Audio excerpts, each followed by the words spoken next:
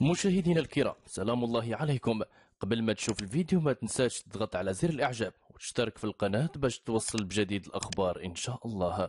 أشادت الولايات المتحدة الأمريكية اليوم الاثنين فاتح فبراير بعملية التلقيح التي أطلقها المغرب الأسبوع الماضي مؤكدة أنها إنجاز يستحق كل التقدير وبعث القائم بالأعمال في السفارة الأمريكية بالرباط ديفيد جرين رسالة إلى الملك محمد السادس أعرب فيها عن التهاني والتقدير بمناسبة انطلاق حملة التلقيح ضد فيروس كورونا المستجد مؤكدا بأنها أول حملة وطنية كبرى بإفريقيا. وقال المسؤول نظرا للضغوط والتحديات العالمية المتعلقة بتصدي الجائحة أود أن أشيد بالمثابرة والتضامن المتميزين اللذين أبانت عنهما الحكومة والشعب المغربي. إن إطلاقكم لحملة التلقيح هاته تعتبر حقا إنجازا يستحق كل التقدير وتعتبر هذه أول رسالة رسمية من إدارة بايدن. موجهة للملك محمد السادس.